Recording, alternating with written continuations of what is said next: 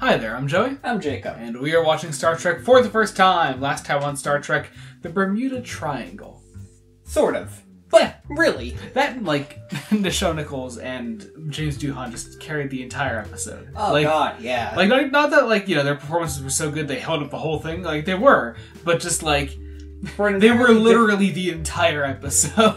right. I know. Yeah, yeah, it was fun. It was fun. Um, I just I wonder like I, I imagine that has to do with something like like they couldn't hire more than a certain amount of actors per episode. But then there are random episodes here and there where they do get actual guest actors, and it's just like I don't quite get it. Like that's apparently the reason that that uh, that Chekhov isn't in, isn't in the show because they couldn't Yeah. hire more actors. Okay, I kind of get that, but then we get Roger C. Carmel back as as uh, as Mudd, it's I it's, think- really weird. I think it is worth pointing out that the only other actors that aren't the regulars that we generally see are named characters that people liked seeing before, Mhm. which does kind of mean there's no Khan in the show. Yeah, yeah. That is interesting. I wonder if Khan would come back at.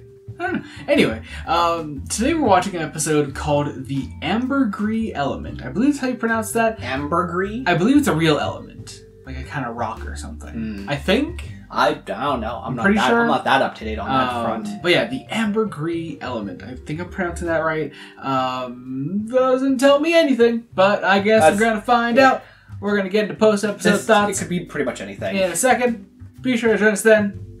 We're about to watch the ambergris element. Oh man! That oh uh, wow! That that was uh, an episode. I'm not sure I've ever been more bored by this show. Yeah. Um. Oh wow! I I am not a fan.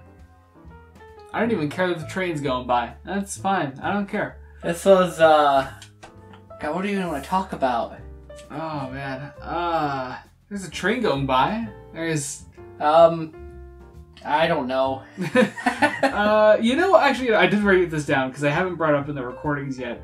Uh, I made a joke last time that uh that the first two lines of every episode have to go to William Shatner and and uh and Leonard Nimoy. In that order. I'm pretty sure that's what's happened like every fucking episode. Yeah, we haven't made a note of it every yes, time. since, since I started noticing it, it has not broken that pattern. So I think that's pretty funny. I don't know if that was like something they had to do or if that's just how it always happened. And it's just it's weird. I think for script reasons it kind of just makes sense Yeah. that, you know, Captain Kirk does his captain's log and then the next line is, "So Spock, tell me about the exposition again, please." yeah. Yeah. It's how they get their exposition out of the way, and also you know it's just you know they're clearly the two people being paid the most to be on this show. so, Yeah. You know. Um. There's a sea monster. Uh. One. There's Total. A, a sea monster. And there were some fish people. Who really should have been drawn with some goddamned expression. I I gave myself like nom flashbacks to when I checked out the 1967 Aquaman cartoon, which was also pretty terrible.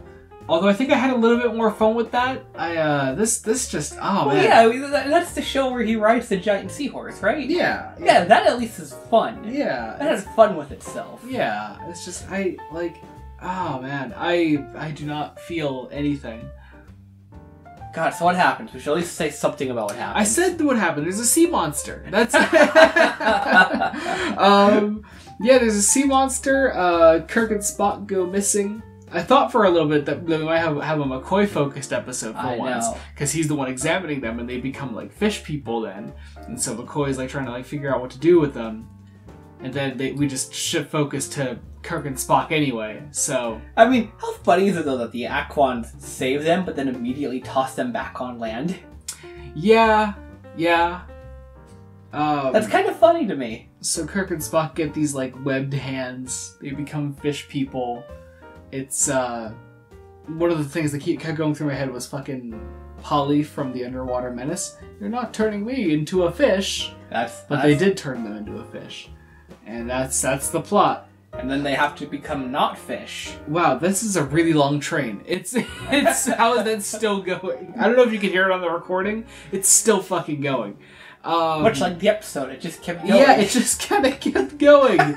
um. Oh wow. Oh fuck. Uh. so they have to go find not ancient Greece Uh huh. and find records of what happened when they uh, when the, when there was the first ground quakes. Uh huh. And they get these like medical supplies that were from this Earth-like society, because you know every single Star Trek planet is just Earth. Um, but with a with a planet of hats. yeah. Uh, ah, they get the venom from the fish monster Which is a sacred, apparently. and then Kirk and Spock are cured. And then I don't know. I guess the Aquans are safe now. Well, yeah, because they diverted the, the newest uh, the newest ground the newest ground quakes. Yeah, I'm glad you picked up on that. I, I dude, I just did not care. I was like, I was like, okay, hang on. There's Aquans on the on the on the on the ship. That there's a reason for this. uh huh. So I started listening a little more carefully. Well, I applaud you, good sir. I don't know, man. I don't know if the episode's actually bad though. Is the thing. No, I don't know if it's bad because I just didn't care enough. You know. I like- think it wasn't bad because if it was bad, we'd have more to say. Maybe that makes it bad though. The fact that it failed so spectacularly to grab me in any way possible. Maybe it's possible.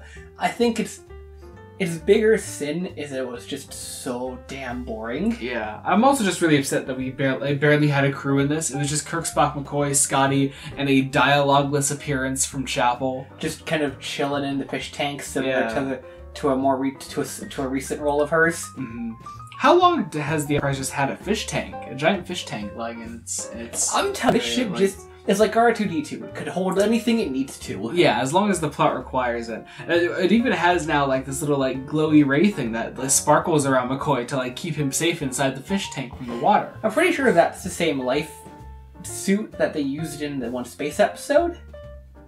In what? Early in the season, remember when they they found the ancient ships around the dead sun? Oh yeah, is I- that meant to be the same thing though? I mean, it looks like the same thing. I don't know. But again, it's just the, the, the Enterprise is like R2D2. It can hold exactly what the plot needs it to. Yep. And we're never going to see it again. Oh man, I gotta pad out like one more minute. So, um, let's do some statistics. Oh, Um, okay, we have sure. three episodes left in the season. Right. We have nine episodes left in the whole show. Which is weird. We're almost almost at the end. We're in the we're in the back half. We're getting there. Um, those are the only two that I had. and and you can tell we're really stretching with this one. that was it. Yeah, that was all I had.